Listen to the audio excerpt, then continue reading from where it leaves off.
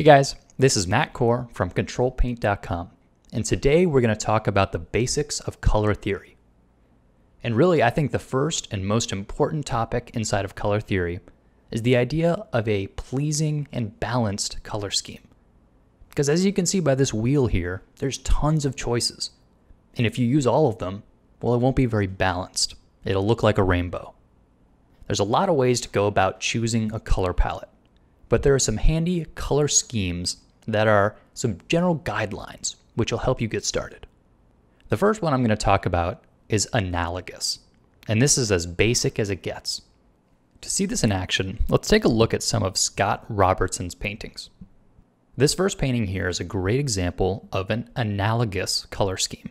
And all that means is that the colors he used are very tightly grouped inside of the color wheel and he's using a variety of different saturated and desaturated, which means more and less vibrant, versions of these colors, but they're all basically the same colors.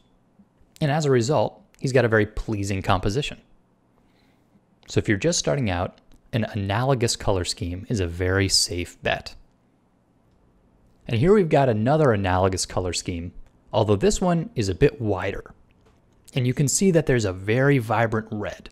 This is sort of the key color in the image, and it stands out. So there's a lot of desaturated violets and blues and grays, and then a very strong red. But they're all still pretty close to one another on the color wheel, so they're going to work harmoniously. Now, if you want to branch out a bit, you might try playing a cool color off of a warm color. So if you look at the color wheel, one half are warm colors, and the other half are cool. So the next color scheme is called a complementary color scheme. And in this painting, you can see there's a lot of blue, but also some orange and some desaturated orange. And it just so happens that blue and orange are across from one another on the color wheel. And this is how you generate a complementary color scheme.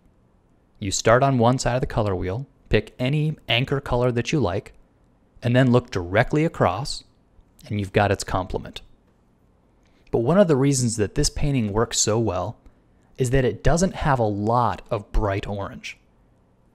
There's a fair amount of water, which is saturated blue, but then most of the boat is pretty gray. And only here and there are there actually hot spots of bright orange.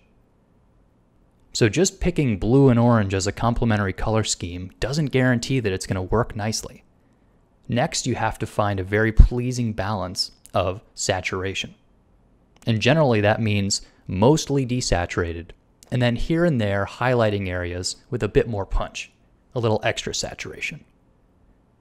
So I'll be talking about different color schemes in future videos, but looking at these two images, you can see that even blue-orange complementary color scheme can mean a lot of different things.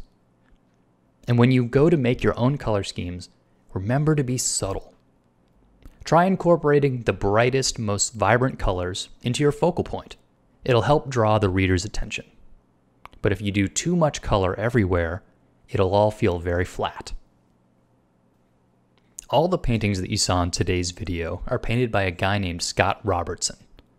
If you're looking for inspiration, this is a great guy to turn to.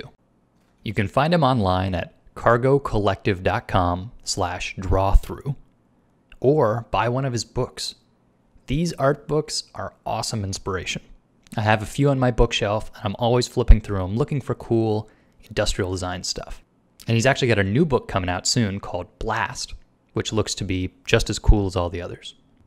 So thanks for watching, and stay tuned for future videos.